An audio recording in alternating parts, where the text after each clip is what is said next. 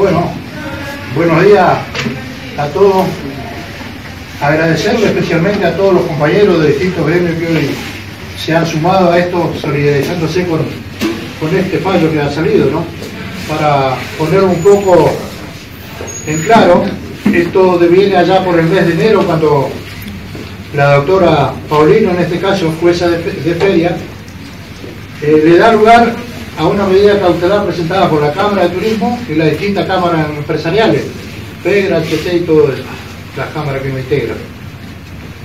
En ese momento, eh, la jueza da lugar y, y, dicta una sentencia diciendo que no, nos quería sacar de la calle prácticamente y de todo reclamo, donde no podíamos entorpecer el tránsito, no podíamos parar el tránsito con, con panfletos, no podíamos molestar al turista, no podíamos en realidad nos coartaba la libertad de expresión, algo muy grave en una época y en una instancia democrática que tenemos.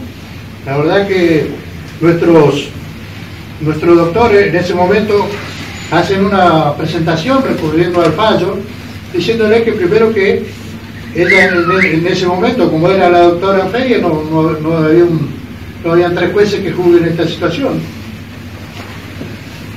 Así que ha recurrido el fallo nuestro, nuestro cuerpo de abogados, hace poco días, una semana atrás, no más de eso, la, lamentablemente la Cámara de Trabajo que preside el doctor Rubén Marigo, Juan Lagobercino y el doctor Rinaldi, resuelven y diciendo que lo que había sacado la jueza en su momento, que tenía la plena competencia por hacerlo.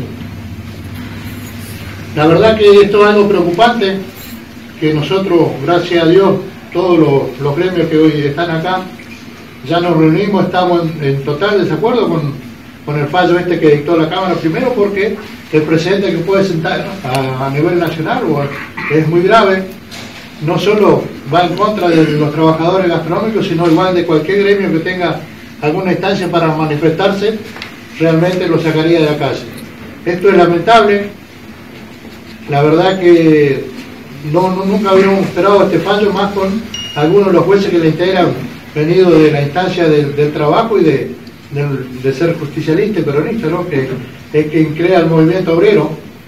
Así que esto hicimos una reunión previa con los gremios, así que hoy estamos anunciando esto al el compañero Sonfrini de la CGT Atina, que va a decir unas palabras también, como así también el compañero Walter. Yo, quería decir algo en función de...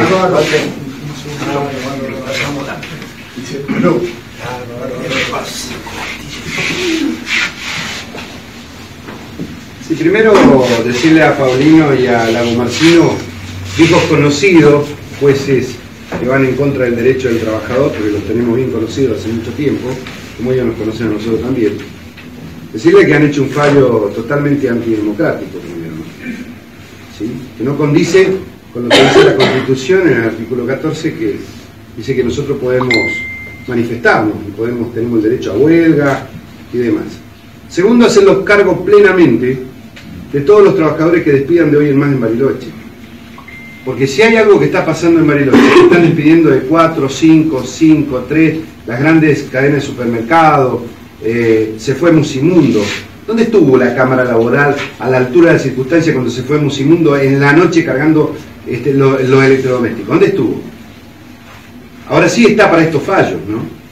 Estos fallos condicen nada más ni nada menos darle la posibilidad a los usureros del trabajo que de alguna forma puedan echar y que nadie le va a tocar el bombo en la puerta.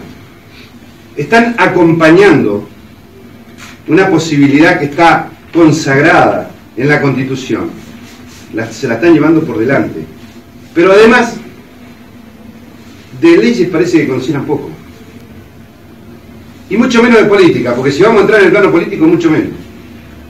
Miren, los empleados de comercio de Bariloche tienen un 20% más de zona y eso no se da en otros lados de la provincia, solamente acá.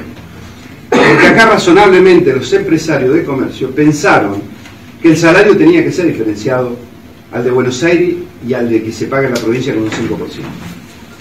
Entonces, si los empleados de comercio tienen un 20% más de salario, yo no veo por qué los compañeros gastronómicos no lo pueden tener. No lo veo por qué. Y es parte de la lucha. Esto es parte de la, de, la lucha y de los mecanismos de la democracia que nos permiten tener la posibilidad de discutir, de manifestarnos, de estar.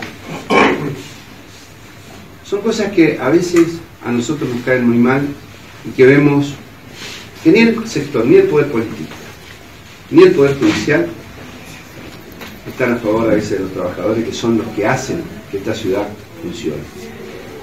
Y así vemos cómo pasan las cosas y vemos cómo, cómo echan trabajadores. El caso concreto de Chango Más, por ejemplo. Sacarse de encima a los trabajadores que tienen más de 40 años.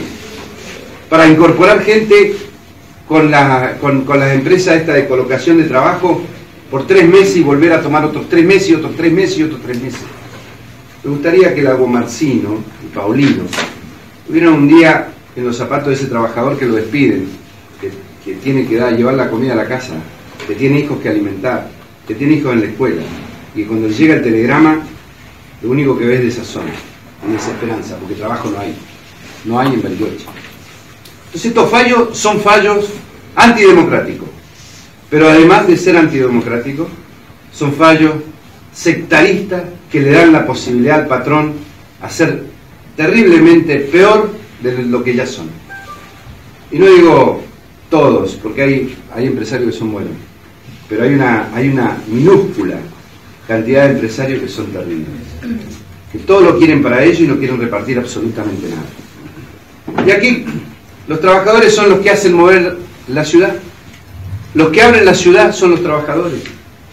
Y se lo tiene que tener en cuenta porque es parte del capital social que tiene el empresario.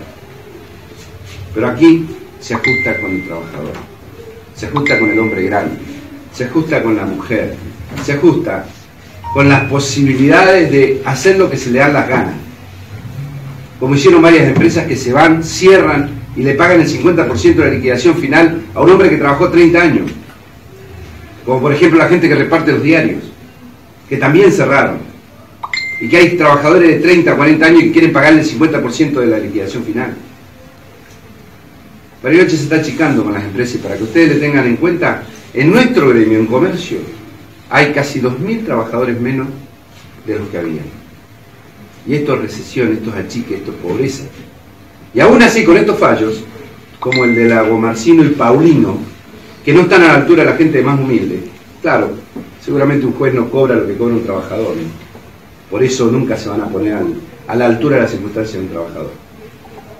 Estos fallos lo único que hacen es arrimarle más posibilidad al empresario para aquel que quiera hacer lo que se le da la gana, haga lo que se le da la gana. Ni que hablar con la gente que traen de afuera, que no es de Bariloche, y que le saque el trabajo a la gente de Bariloche. Ni que hablar de aprovecharse del que viene robándole por un trabajo y que vive en condiciones paupérrimas, donde un perro a lo mejor vive mejor que un ser humano con estos empresarios que especulan con la mano de obra. Nosotros estamos muy enojados con este fallo. Y más allá de solidarizarnos con los compañeros gastronómicos, estamos pensando también llegar al paro. Estamos pensando llegar al paro en Bariloche por estas cuestiones de estos jueces insensibles a la cual le vamos a hacer un, le vamos a hacer un jury político, porque no puede un juez determinar estas situaciones donde lesione a miles de trabajadores. Y además es totalmente antidemocrático. Está hecho y ajustado para que ellos de alguna forma se queden con esa posibilidad de ajustar la mano de obra local y no la, protesta, apagar la protesta para que cada uno haga lo que se le da la gana. Así que tenemos una movilización y tenemos un paro.